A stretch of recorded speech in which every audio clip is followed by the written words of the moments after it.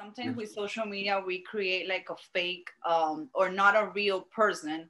And, and no it's okay um, to show the struggle. It's okay to show what's happening. Mm. It's and so i think it's important. And and i feel like you're gonna do great. I saw a lot of sorry for my dog.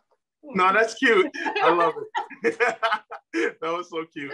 This is what happens when everything is virtual now. Yeah we get to see your life.